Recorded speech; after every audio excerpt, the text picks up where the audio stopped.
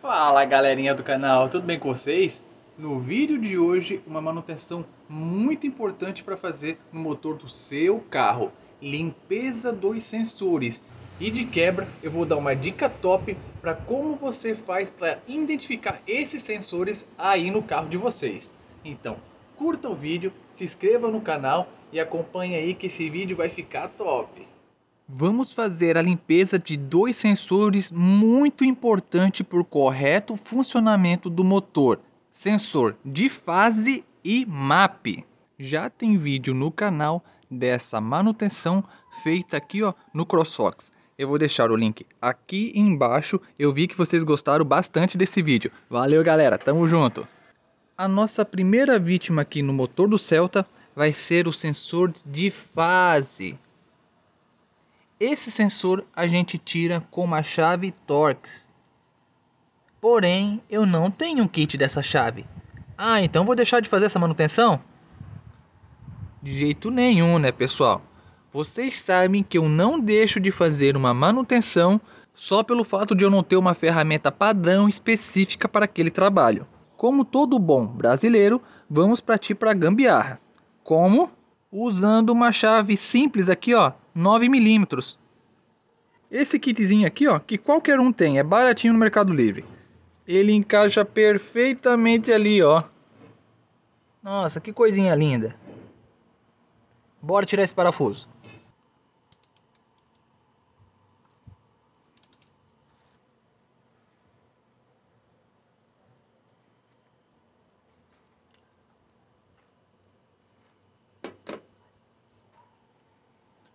Parafuso já saiu.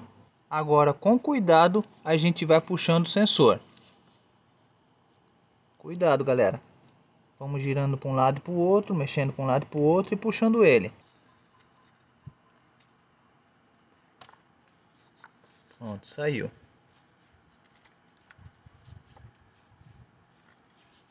Aqui está o cara. O conector, pessoal, é bem simples, não tem segredo para tirar. Só puxa aqui, ó, a travinha e ao mesmo tempo você puxa o sensor. Ele é fixo com bastante pressão por essa borrachinha aqui, ó, para não entrar água aqui nele. Já conseguimos tirar o sensor de fase. O sensor de fase é responsável por ler as voltas do comando de válvula.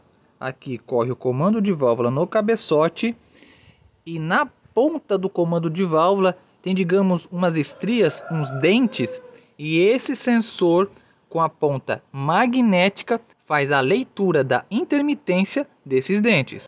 E uma dica desse sensor, como a ponta dele é magnética e ela fica em contato ali, ó, com o óleo, caso o motor esteja com seus dias contados e soltando muita limalha, começa a agarrar aqui, ó, nessa ponta magnética e você tira esse sensor, dá uma olhada e você já tem um parâmetro para saber a saúde desse motor. Vou pegar um paninho e a gente fazer uma limpeza mais básica aqui para ver como está a saúde desse aqui. Bora lá. Eu peguei um papel toalha aqui, ó, limpinho. Vou passar a ponta do sensor aqui nesse papel toalha e a gente vai ver se ele vai soltar alguma limalha.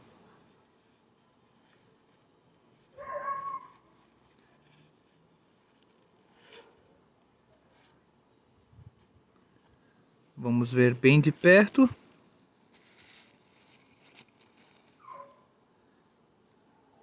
Limalha, pessoal, ele não soltou. Esse marrom aqui, ó, é normal do óleo. Limalha seria muito parecido com uma parte cinza que começou a soltar aqui, ó. Porém, essa parte cinza foi aqui mais da lateral do sensor. Quando o motor está bem desgastado soltando muita limalha, você passa aqui, ó, nesse papel toalha e o papel toalha ficar todo cinza com, digamos, um pó de metal. Pessoal, caso o seu carro não for um Celta ou um CrossFox, dá uma segurada que eu vou mostrar uma dica top para como você identifica esses sensores aí no seu carro. E a nossa próxima vítima será o sensor MAP. Ele fica localizado no coletor de admissão. Aqui temos o coletor de admissão e aqui, ó, se localiza o sensor MAP. Bora tirar ele. Com o auxílio de uma chave T25, vamos soltar o parafuso que segura ele ao coletor de admissão.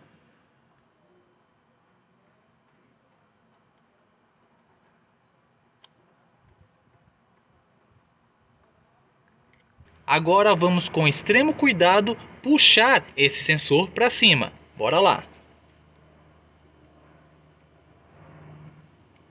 Empurra para um lado para o outro, para frente para trás.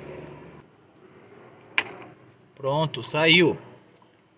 Esses sensores, pessoal, sai com bastante essa impressão, é normal, porque ele tem um anel O-ring. E esse anel O-ring está em perfeito estado. Agora vamos tirar o sensor do conector elétrico. Aqui no Celta é diferente, tanto do sensor MAP quanto lá do CrossFox. Primeiro tem que tirar essa presilha aqui, ó, amarela. Puxa ela para trás.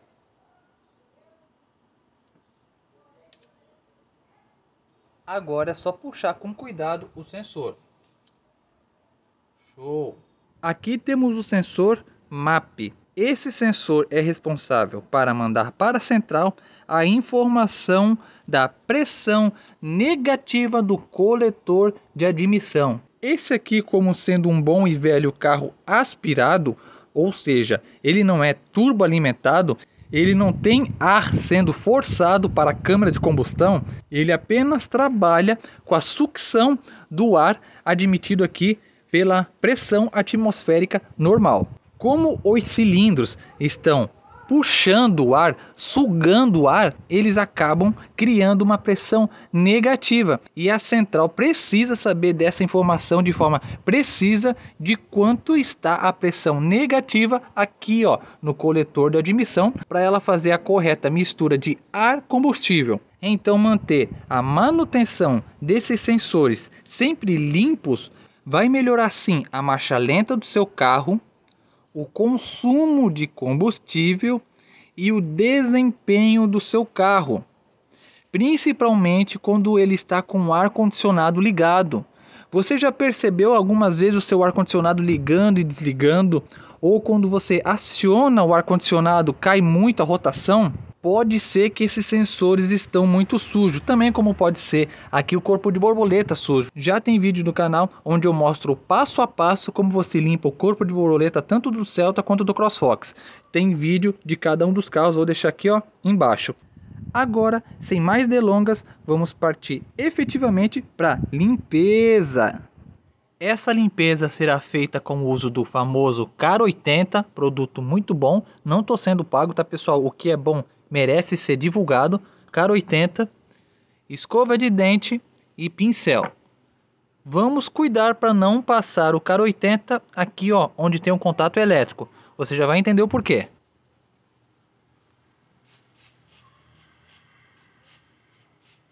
Olha a sujeira que está saindo. Vamos lavar todo o corpo do sensor, mas o mais importante é aqui, ó, a ponta que faz a leitura. Mesma coisa aqui do sensor MAP. Vamos limpar todo o corpo do sensor, mas o mais importante é a ponta onde faz a leitura. Olha o caldo, a sujeira que está saindo. E parecia que ele estava bem limpo, né? Mas olha a sujeira que sai. E esse produto é muito bom para essa finalidade, pessoal. Agora passar um pouco aqui na escova de dente e limpar bem o sensor.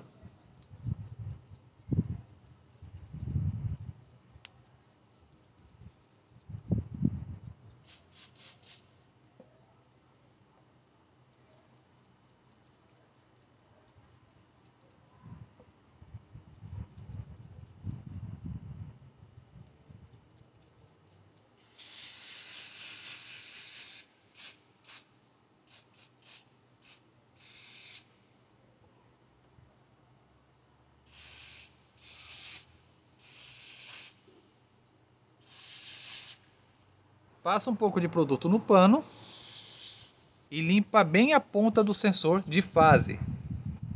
Agora é opcional, tá pessoal? Se você quiser só secar, tá bom. Mas eu gosto de passar um WD-40 porque o WD-40 ajuda a tirar a umidade. Então passo o WD-40 nele, que ele seca até mais rápido.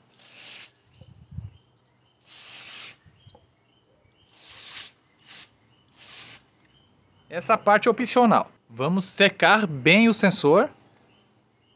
Por que a gente não passou o CAR 80 aqui onde que faz o contato elétrico lá com o conector? Porque a gente vai passar um produto específico que é o limpa contatos. No caso aqui da Orb, mas pode ser qualquer um, tá pessoal? Não vamos se atentar à marca nesse caso, mas vamos passar aqui, ó, onde que tem um contato elétrico. Top. Esse aqui também. Show. Produto específico para esse fim. Acabei nem usando o pincel, a escovinha já deu conta do recado. E como vocês podem ver, pessoal, cada um desses sensores tem um anel O-ring. Esse anel O-ring, pessoal, é muito importante vocês lubrificar antes da montagem porque se ele acabar entrando sem lubrificação lá no alojamento dele, pode romper esse anel O-ring e dar falsa entrada de ar e vazamento de óleo. Vários problemas, pessoal. E como a gente sana esses problemas? Vou dar uma dica top aqui para vocês. Usando vaselina sólida no anel O-ring. Aqui, pessoal, topzera. Eu sempre passo essa vaselina sólida nos anéis O-rings aqui do motor do carro e eu nunca tive problemas do anel O-ring rompendo. Dica comprovada. Então com o dedo mesmo, pega um pouco aqui ó da vaselina e coloca no anel O-ring. Top. Aqui no sensor de fase também. Mais um pouco de vaselina. Agora sim, pode colocar lá no alojamento do sensor sem nenhum risco de romper o anel O-ring. Show de bola! Vamos passar limpa contato aqui ó, no conector elétrico do sensor. Para ele não ter nenhuma interferência por zinabre ou qualquer coisa do tipo. Sempre vai ter uma ligação elétrica top do sensor com conector. E a montagem, pessoal, é muito simples já que vocês fizeram a desmontagem. É só fazer o passo inverso. Vamos colocar o sensor no conector.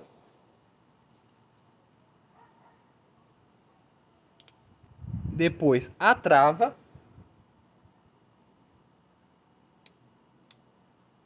Show. Ele já não sai mais. Encaixar com cuidado o sensor.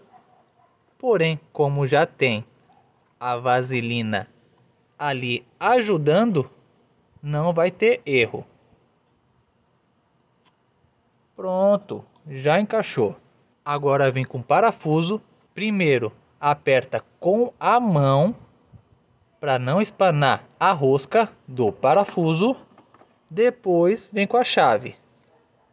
E aqui, pessoal, como vocês podem ver, o sensor é em plástico e o coletor de admissão onde a rosca do parafuso é apertada, também é em plástico, então não precisa apertar muito. Só encostando assim, ó. Já tá bom. Sensor ficou bem preso, ó. Parece que tá soldado ali. É o suficiente. Vamos passar limpa contatos aqui também no conector do sensor de fase. Top. Vem com sensor e muito simples esse aqui. É só encaixar, não tem segredo. Pronto. Eu vou dar uma limpadinha com pano ali no alojamento do sensor. E agora é só encaixar o sensor. Com cuidado também, pessoal.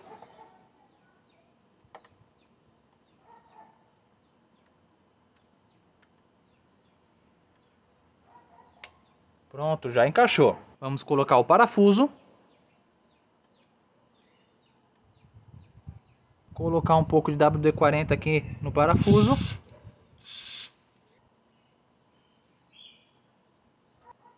Não precisa apertar muito também, tá pessoal? Assim ó, já tá bom. Sensor bem preso, bem fixo. E agora eu vou ensinar para vocês uma dica top para como vocês identificam cada um desses sensores, mesmo o carro de vocês não sendo iguais esses do vídeo. Infelizmente, pessoal, eu só tenho acesso e disponibilidade de dois carros para eu mostrar como exemplo essas manutenções, que é o Celta, né, agora novo integrante do canal, e o CrossFox, que já é um velho de guerra aqui no canal, né? Já fiz de tudo nesse carro. Então é só esses dois carros. Ainda a gente leva a sorte que o motor EA111 foi muito vendido, né? Está equipando vários carros com esse motor e o VHC, né, da família aqui, um da Chevrolet, família 2 também é praticamente a mesma coisa, também equipou vários carros. Então a gente leva a sorte nesse quesito que esses dois carros aqui tem bastante unidade desses motores rodando por aí. Porém, eu vou mostrar para vocês uma dica top que você com qualquer carro vai identificar de forma muito fácil esses mesmos sensores aí no seu carro. No vídeo que eu fiz ali do CrossFox, muitas pessoas donas de EcoSport, Jetta, Focus, Renault Clio, Ford Ka e até um PT Cruze me perguntaram como encontrariam esses sensores no carro delas. Então, pessoal, segue a dica aí. A primeira dica vai ser aqui, ó, do sensor de fase. O sensor de fase, pessoal, vai ficar no comando de válvula. Onde que fica o comando de válvula? No cabeçote. Onde fica o cabeçote? Aqui na cara do Gol. É o primeiro componente que você vai ver aí no motor do seu carro. Aqui, ó, temos o cabeçote ou aqui nesse berço, no caso aqui da Chevrolet. Aqui temos a correia dentada do carro, correto? Isso logo de cara é fácil de encontrar, porque aqui temos as correias de acessórios, né? E aqui temos a correia dentada. Tudo bem, ali no motor Duratec tem alguns motores, né? O Zetec também, que eles são corrente. Mas é a mesma coisa, tá pessoal? Você tem que encontrar aqui o componente que comunica o cabeçote lá com o virabrequim, que é ou corrente ou correia. No caso aqui, correia. Temos aqui a correia e aqui na correia vocês já podem ver que tem o comando de válvula, que no caso vem aqui, ó, até a bobina, que antigamente esses carros aqui, ó, funcionava com distribuidor, né? Esse motor aqui da Chevrolet é uma concepção bem antiga. Mas vamos lá. Aqui temos o comando de válvula passando. Então a gente tem que identificar algum componente que está voltado a esse comando de válvula, fazendo, detectando a leitura dele. Outra dica é que cada modelo tem um layout diferente do sensor. O que você pode fazer para te ajudar? Digita lá no Google. Por exemplo, aqui ó, sensor de fase Celta 2012. Se eu digitar isso no Google, vai aparecer essa imagem aqui, ó. Agora eu já tenho uma base do que eu vou procurar no comando de válvula. Então vamos lá. Aqui, ó, não tem nada, não tem nada, nada de sensor, nada, não tem nada de sensor. Aqui é só a bobina, não tem nenhum sensor. Aqui, ó, conector elétrico da bobina. Para cá, não tem nada de sensor, nada, nada. Ó, nadinha. Aqui é uma mangueira. Olha lá, o que, que é esse ali? Parece muito com a imagem do Google e está lendo o comando de válvula. É isso mesmo, encontramos o sensor de fase. Vamos lá ver do CrossFox se é assim tão fácil? Bora lá. Identifiquei aqui a parte de correia. Aqui ó, temos o comando de válvula correndo por aqui, comando de válvula. Vou digitar sensor de fase CrossFox 2012. Apareceu essa imagem. Agora eu sei aonde que está o comando de válvula e como é o sensor. Vamos procurar ele? Bora lá. Aqui não tem nada. Aqui não tem nada. Aqui é só bico injetor. Para esse lado aqui também não tem nada, só as velas. Não tem nenhum sensor aqui. Aqui é a bobina. Opa, opa, o que, que é isso aqui na cara do gol? Parece muito com a imagem. Aqui está correndo o comando de válvula e ele está tendo a leitura do comando de válvula. Encontramos aqui de forma fácil também o sensor de fase do CrossFox. Faça o teste aí no carro de vocês. Garanto que vai ser bem fácil de encontrar. Agora vamos para o sensor MAP. O sensor MAP, pessoal, obrigatoriamente vai ler a pressão negativa do coletor de admissão. Então, aonde a gente vai procurar ele? Sim, no coletor de admissão. Então, vamos identificar onde é o coletor de admissão do carro. De uma forma muito fácil, tá, pessoal? Se for uma peça em plástico, já vai ser o coletor de admissão. Porque jamais um coletor de escapamento vai ser em plástico, porque as temperaturas são muito altas. Então já vemos aqui que tem um defletor de calor. Então, esse aqui ó, é o coletor de escapamento, então já não vai ser o coletor de admissão. Para cima temos o coletor em plástico. Então, esse sim, pessoal, é o coletor de admissão. Podem ver também que tem o corpo de borboleta aqui, ó, também nessa região. Temos aqui, ó, os bicos injetores nessa região. Então dá para entender que esse aqui, ó, é a admissão do motor. E esse aqui é o escape. Podemos ver lá, ó, a sonda lambda. Sonda lambda é sempre no escapamento do carro, depois do coletor de escapamento. Então, aqui é a parte de escapamento, aqui é a parte de admissão. Tá, Eduardo, mas esse é um carro com fluxo cruzado. O que seria um fluxo cruzado? Entra de um lado, sai do outro. Porém, tem carros com o fluxo unilateral, que ele entra e sai do mesmo lado é a mesma forma de identificar, tá pessoal? Vocês vão ver qual é o coletor que está ali ó, com o corpo de borboleta e vão ver qual é o coletor que está com a sonda lambda. Um, obviamente, é a admissão, o outro, obviamente, é o escape. Então já sabemos que essa grande parte plástica aqui ó, é o coletor de admissão. Vamos procurar na internet uma imagem desse bendito sensor MAP aqui do CrossFox. Ah, Tá bom, o sensor é assim então? Beleza. Agora sabemos que aqui é o coletor de emissão e já temos uma ideia do sensor. Vamos procurar. Aqui não tem nada. Aqui não tem nada, é só um monte de mangueira. Aqui temos o corpo de borboleta.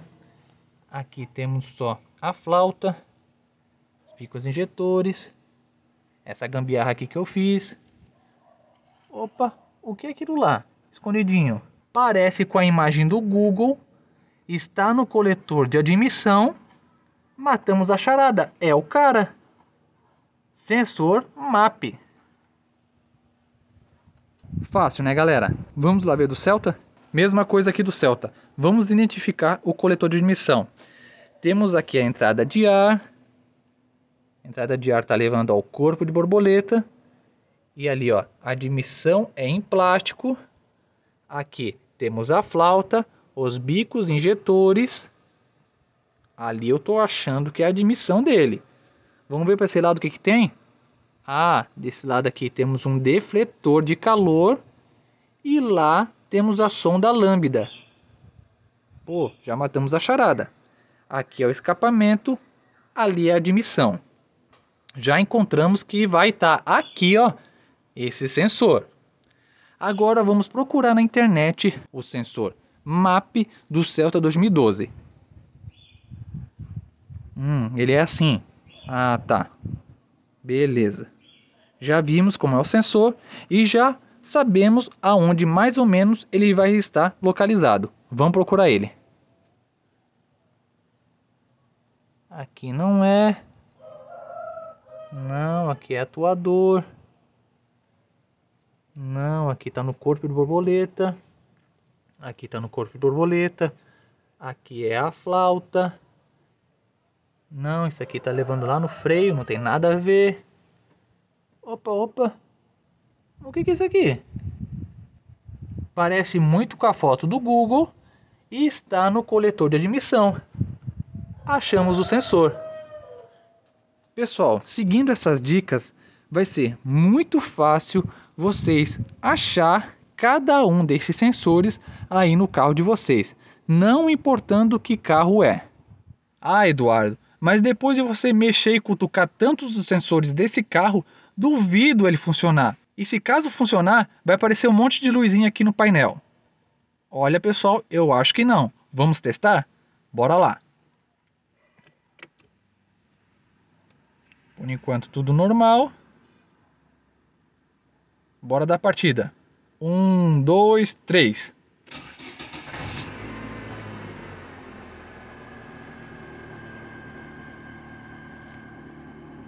Rotação estável. Motor tá frio ainda, primeira partida.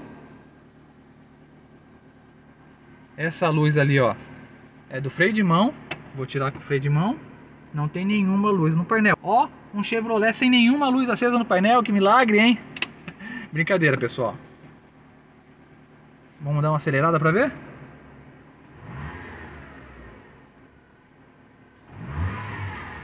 Top! Vamos ligar o ar-condicionado e ver o RPM? Bora lá. Liguei. RPM estável. Ar já está gelando. Vou desligar o ar. Pronto. RPM continua fixo. Top, top, top.